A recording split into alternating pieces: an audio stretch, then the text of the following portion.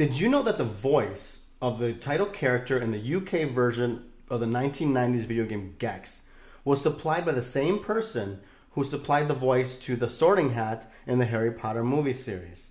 My name is Marco. I live in Orlando, so you're watching Marco in Orlando. And today we're going to take a look at some of the fun facts of what I think are three of the most underrated games in the, the, Sony PlayStation 1 generation. That's this game, this game, and of course this game. So we will take a look right now and stick around.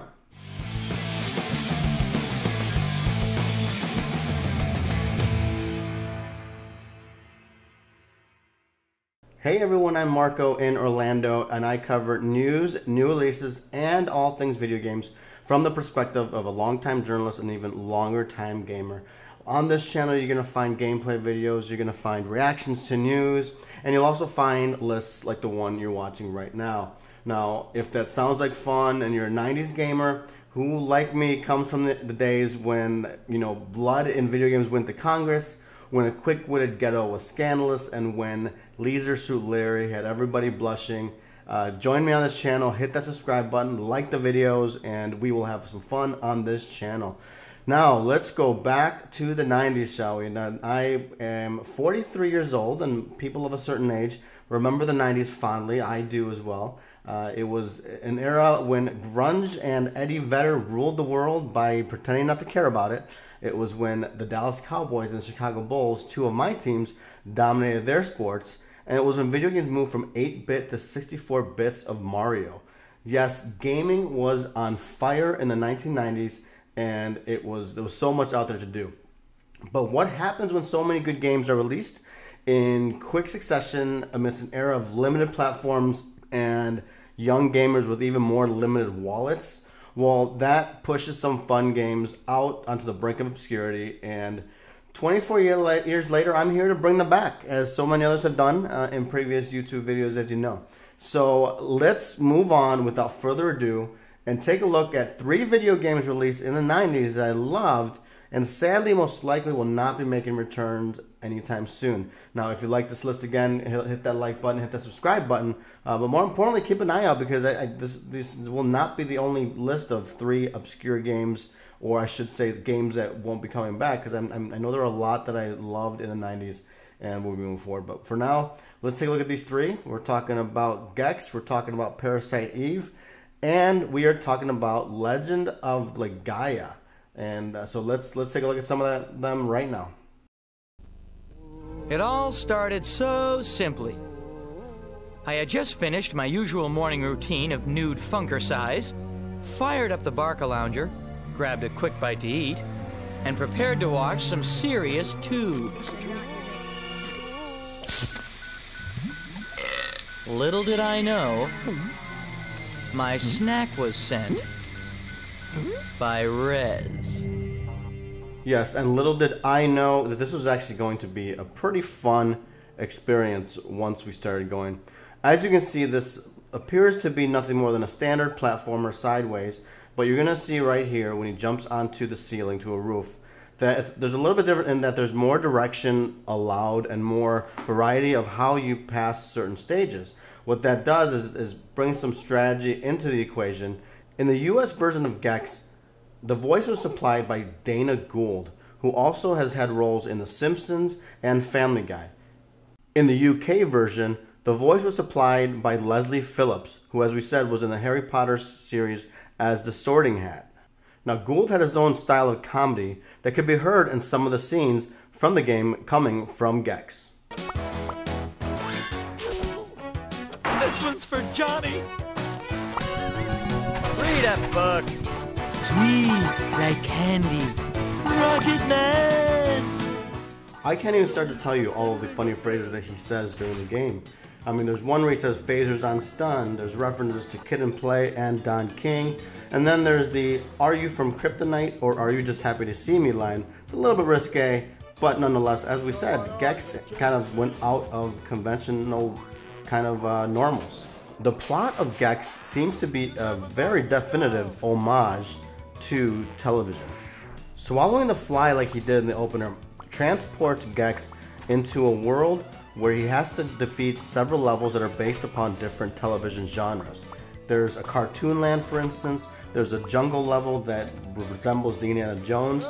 There's a kung fu level, and of course, there's also a sci fi level.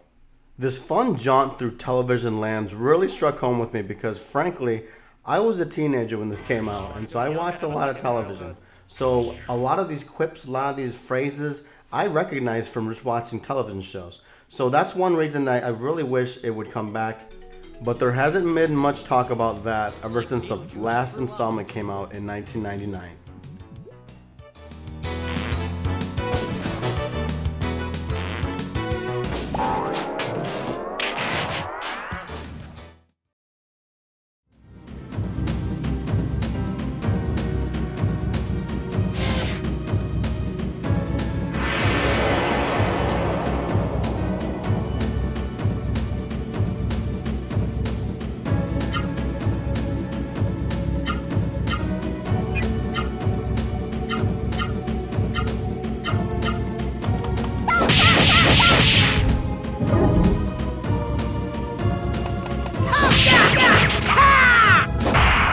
RPG fans played Final Fantasy games in the mid 1990s, the developers of The Legend of Legaia came in and introduced a new battle system that infused martial arts with traditional RPG elements.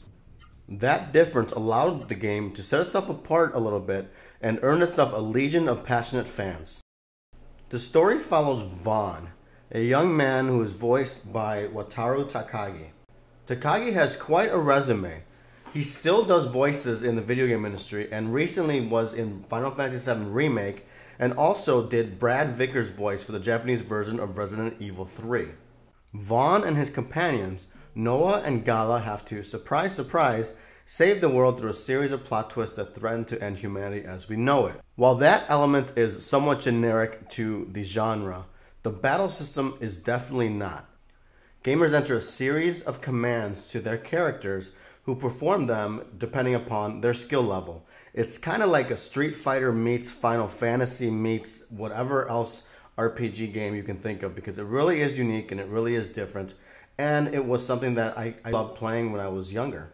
I promised you trivia, so here's a little fun fact for you. Takahiro Kaneko, who came up with the name Legend of Legaia, was actually the associate producer on the other RPG game of the, of the era, Wild Arms, and he was the producer of Wild Arms 2. Now I might break down Wild Arms on my own, on its own eventually, but yeah, so he was he actually worked on those games and then came up with the with the title to Legend of Legaia. I can't really say enough about Legend of Legaia, especially when I put it in the context of the era during which it was released.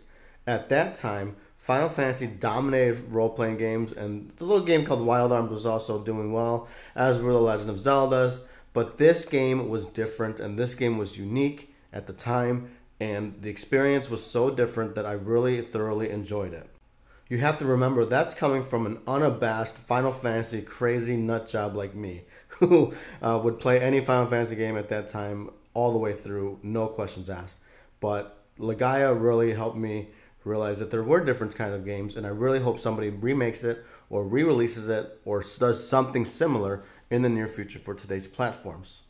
We can only hope that PlayStation 5 might be the place for that to happen.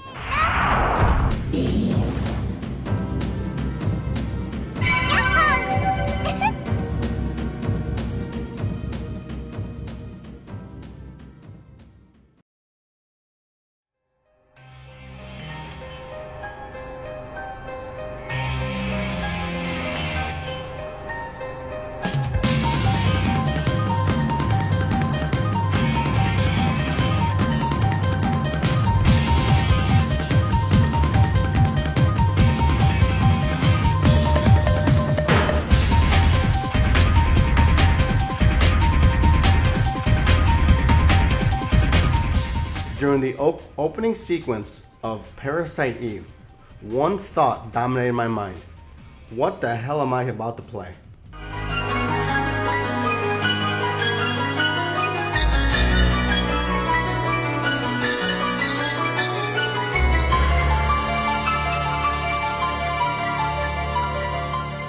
Parasite Eve was a sci-fi role-playing game set in present-day New York. It was based on a novel of the same name and created by the same company that built the Final Fantasy games. You play the character Aya Brea, a New York City police officer who has to, and stop me if you've heard this one, stop the destruction of the human race. What sets the game apart, however, is how the titular Eve plans to, to create that destruction spontaneous combustion.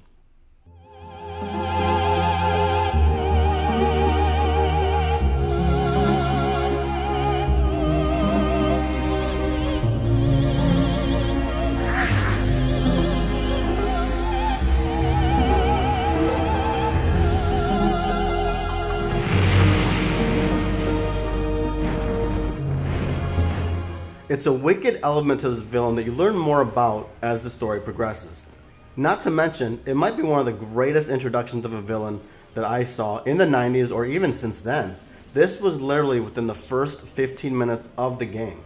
The fact that they continue the music even as this destruction happens is such a great storytelling technique and it really puts home how vicious this attack is.